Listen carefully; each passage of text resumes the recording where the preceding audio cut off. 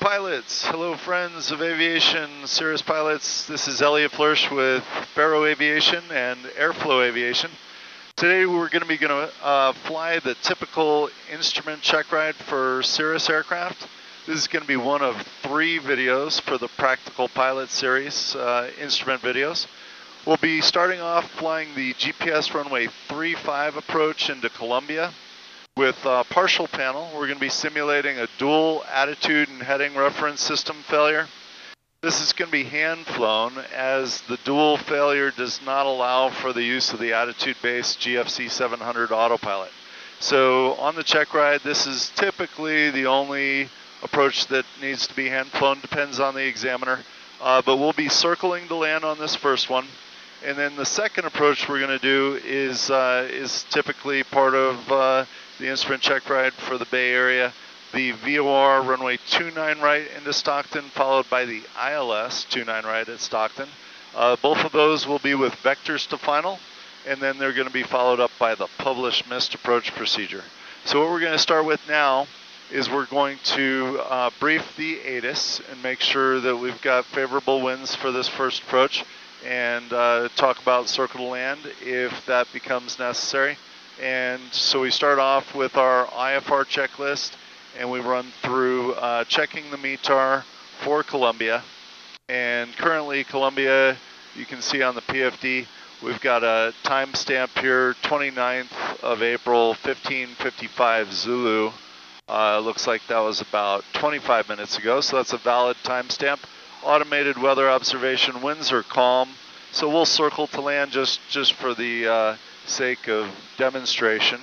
And then we've got 10 miles visibility, which is obviously good enough for this approach procedure, and it's up to our standards as far as personal limitations go. Sky's clear.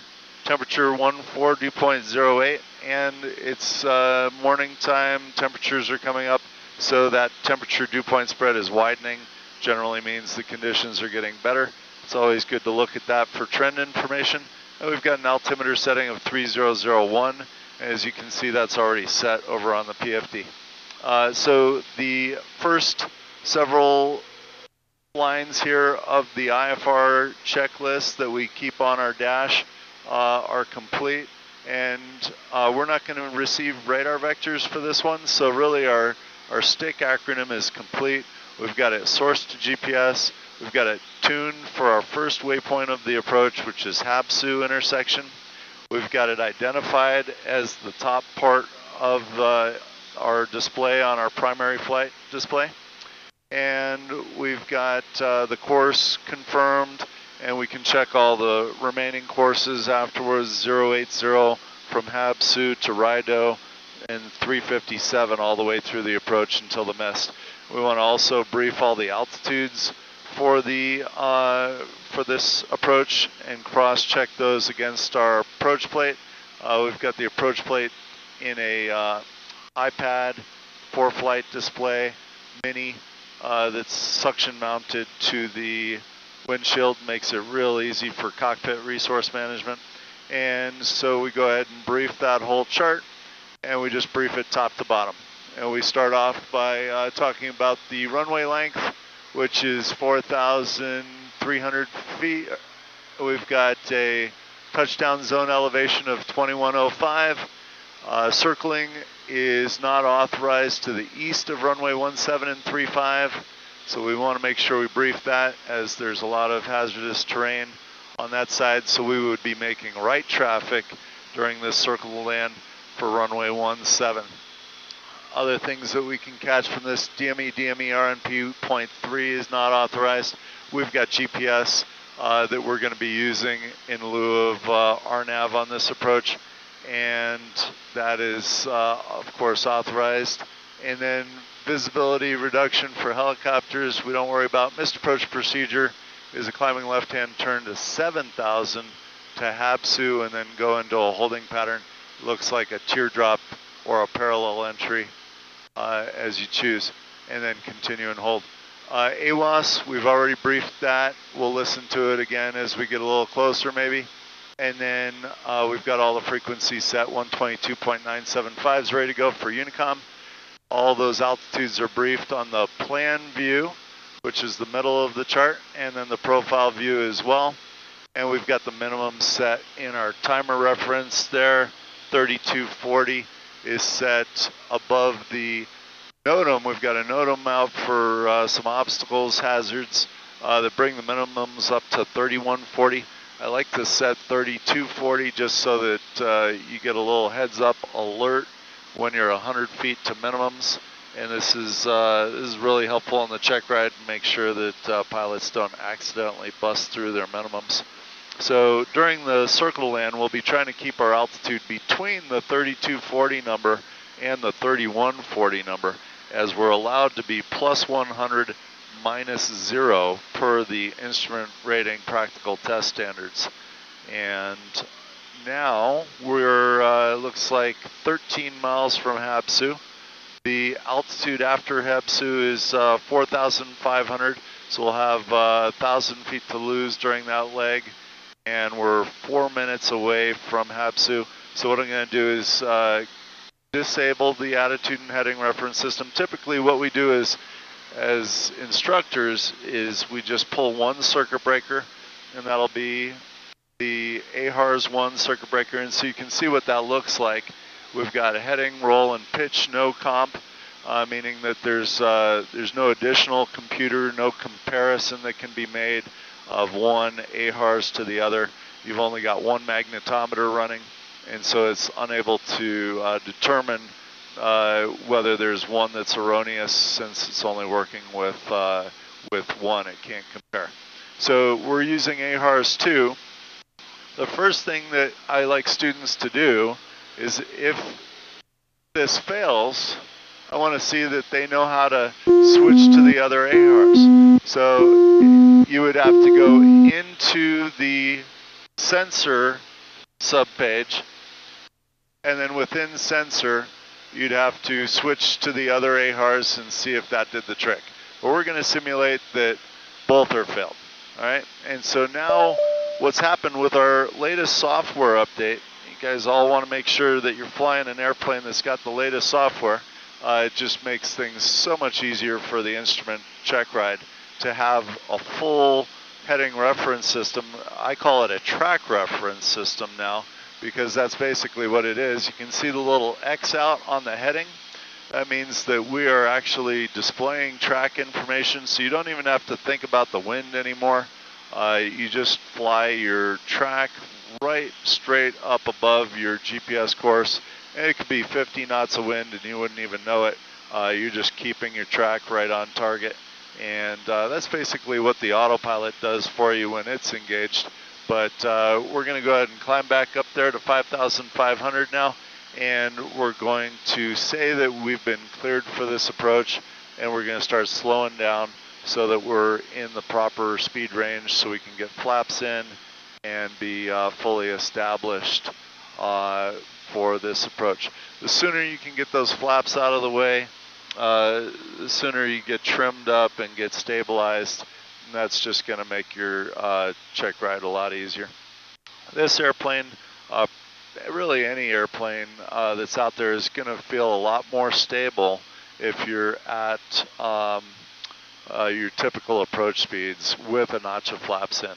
Because uh, when you're using that standby attitude indicator down below, it, um, should I tilt this down so you can see that?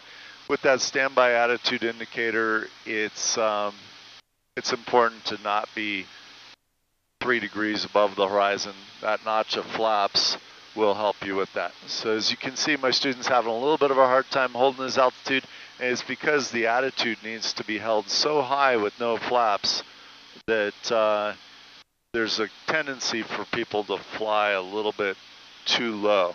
So go ahead and put in those flaps there, buddy and you'll see the lift that comes out of that. We'll drop the nose a little lower. So the hub of his scan is the attitude indicator, which uh, you're unable to see on this video, but you uh, you want to make sure that uh, your scan is going from that hub up to your MFD and over to your altitude your track indicator, and your airspeed and just kind of moving from attitude up to altimeter, back to attitude, down to the track indicator, down to attitude, up to airspeed indicator, down to attitude, up to track, angle error, and cross track information. And so that's your new hub and spoke scan. And so this typically ends up being the hardest part of the instrument check ride because of the fact that uh, you've spent very little of your time scanning in this fashion. And so you have to completely learn the new scan uh, using these new scan procedures uh, with uh, your attitude indicator displaced down below. Okay, so here we are. We've been cleared for the approach. We're at Hapsu at 5,500. We're holding our altitude, and we're going to go ahead and make a turn here. You can see up at the top says turn right, heading, I think it was 080, turn now. We're going to hold that 5,500 until we've turned to that new course, and now we can start dropping down to that next course altitude. So uh, my student is going to power back here to his normal 500 foot per minute power setting. On this airplane, that's 20% power. So the pack or the power attitude and configuration for this section, Altitude. that 500 foot per minute segment is power 20, attitude a couple degrees below the horizon, and configuration one notch of flaps. When he gets down to 4,500, and he's setting that now to the segment altitude that he's flying, when he gets down to about 4,600, he needs to power up. So he's going to go back to his pre-approach level power setting, which will be 35% at 4,600 feet. Okay, so we've got 500 to go. And when we make the turn at Rideau, we're going to start making some calls to the Columbia Common Traffic Advisory frequency. Right now we're on guard frequency just because we don't want a lot of chatter coming in from NorCal, but normally you'd be on with NorCal, they'd issue you a uh, clearance for the practice GPS approach and off you go. All right, 4,800 descending 4,500. We're about two minutes from Rideau intersection, so he's going to have a little bit of time to level off here. You can see he's keeping his course right on centerline, and really the key is having that heading indicator or the heading bug right above our course and having his track right in the middle of that blue heading bug. That'll keep him dead on center through all of his turns. All right, looking good. Back to 35, so he's at the level flight power setting. He'll use this again during the circle land. When he gets within 100 feet of minimums, he's going to power up to 35, but on the circle land, he needs to make sure that he doesn't go through that minimum altitude. At this portion of the approach, he's allowed plus or minus 100 feet. So 4,500 plus 100 minus zero. So he's just trying to kind of hang in there, plus or minus 50, trying to keep it as tight as he can. And this is all looking really good. So at this point, now he's uh, he's briefed his entire approach. He's briefed the ATIS. The things that he wants to be thinking about on this next segment, as he makes the turn at Rideau, see that terminal mode needs to switch to the approach mode that is estimated for the approach. So you can see LNAV plus V is what we expect to get during this uh, Garmin approach. Uh, Garmin Avionics add in the plus V function quite nicely, giving you a glide path that'll clear KECD, that next intersection, right at the proposed altitude. All right, so it says to turn left, so he's going to go to, into a standard rate turn. So he looks down at his standby attitude indicator, and he looks for your typical 15 to 20 degree bank that gives you a standard rate turn. And once he rolls out on that new heading, he's going to power back to that descent profile that's going to hold him on the uh, proper angle for this approach. So this is a three degree angle. It's always important to look at that angle on the approach procedure so that you know what power setting to set. So we don't really know what the wind is, but we can assume 20 to start. So we start off with 20% since that's our typical headwind power setting for a 500 foot per minute descent. And he's going to go down to 3,400. Now you could stay up there at 4,500 and wait for the glide path up there, but um,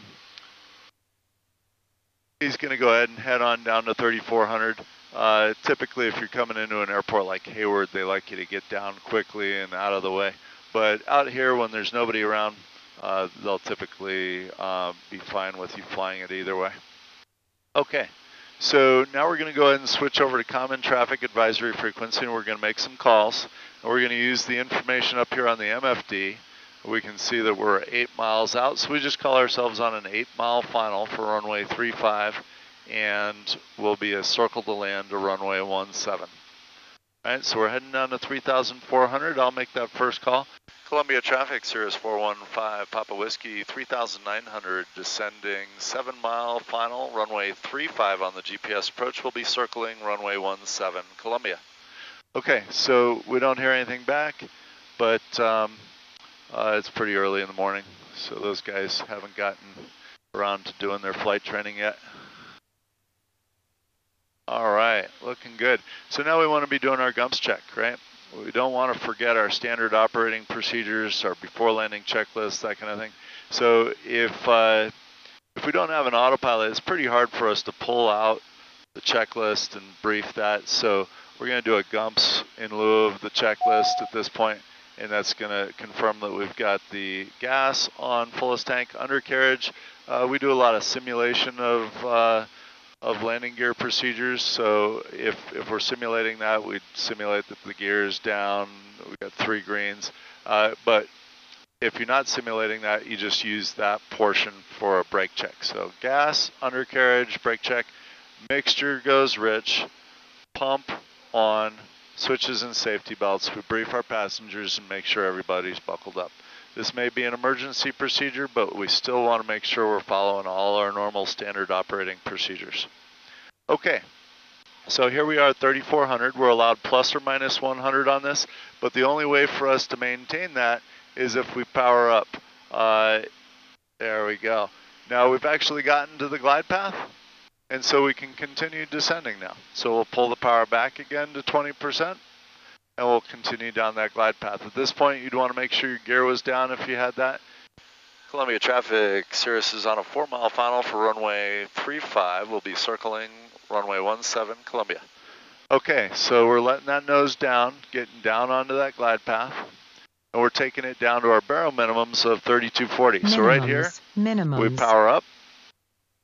Good and hopefully we've got the airport in sight. Okay, so we've got the airport in sight. I'm going to give him his full panel back just because it's cruel and unusual punishment to make somebody do a circle to land with no um, AHRS.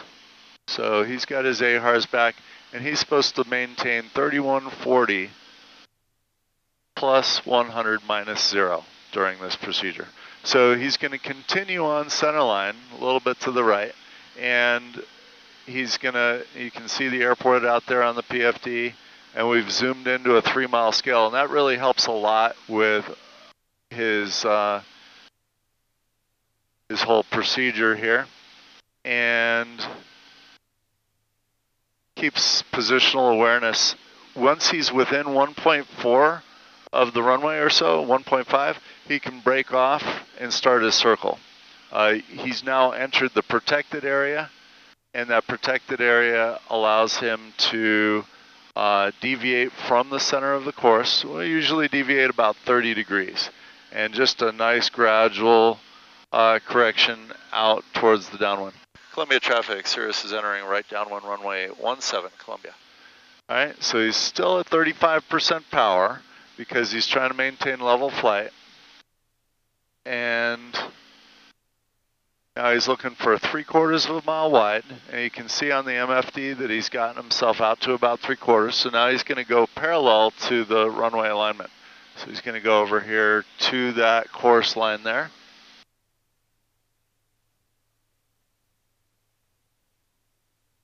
3140 or above. Good. All right, so now he's approximately the correct width here, and he's in a good position to start his descent portion.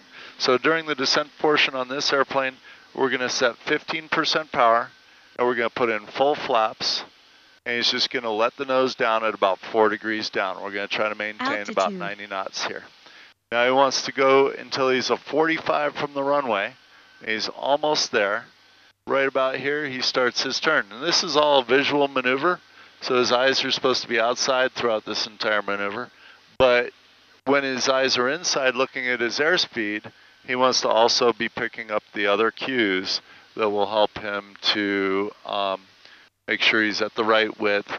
During reduced visibilities or night operations, it's really important to be able to understand how to use these avionics to assist with the uh, circle to land procedure. All right, so he's looking good. Columbia Traffic is right base, turning final 17 Columbia. Okay, and we're going to be a full stop, and we're going to taxi back after this. So now he's got himself lined up. Now he can go ahead and make some corrections as far as his height and speed. So he's going to pull power to idle here. And we're looking on VASI, but he's at 90 knots, so he's going to hold the power back until he can get his speed to his normal kind of 77 knot approach speed across the numbers. All right, looking great. Just uh, right on center line, looking good on our height. And now we're going to start slowing our descent rate, gradually trimming as necessary, and bringing that nose higher and higher. Once we touch down, we'll go ahead and raise the flaps, and we'll start braking for not this taxiway, but the next one. Good deal. Nice job. That's not an easy one. That's really probably the hardest part of the instrument check ride, is that whole procedure followed by a circle to land. Most people don't get enough practice on the circle to land procedure during their instrument rating. So uh, it's something that I like to really emphasize, make sure people are good at. All right, let's go ahead and continue the taxi back. I'll take the controls. You can go ahead and set up your departure procedure. So now we've gotten to the point where really this is the beginning of the check, uh, check ride for a lot of students. There's a really great examiner up here at the Columbia Airport, and uh, there's also um, a great one over there at the Calaveras Airport. And they'll start with flying the departure procedure, out of those airports, followed by a couple approaches into Stockton, and then uh, coming back via the GPS partial panel into either Calaveras or Columbia.